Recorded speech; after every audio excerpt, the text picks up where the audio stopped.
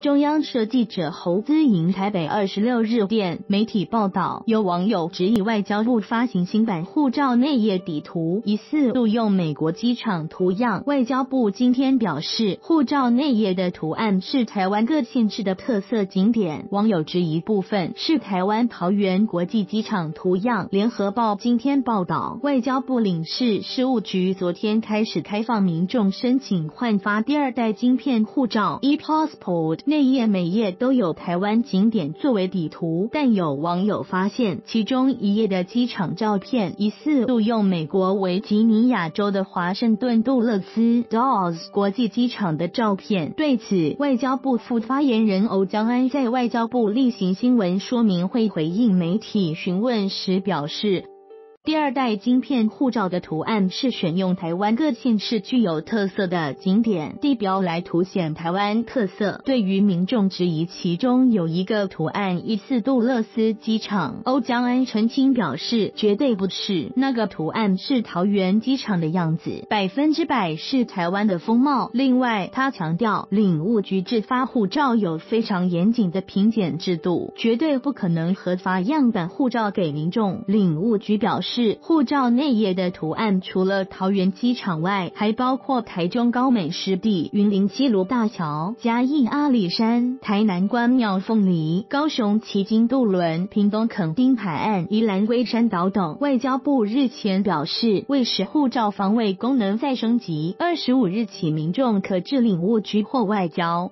部中部、南部、东部及云嘉南办事处或各驻外管处申办第二代晶片护照，护照规费不调升。外交部指出，第二代晶片护照参采国际先进的护照防卫技术，包括增加持照人第三影像防卫胶膜，采用金属化表面涂漆，以及全面更新护照内页图案等，并纳入台湾各县市特色景点地标及风土民情等主题。一百。零六万一千两百二十六。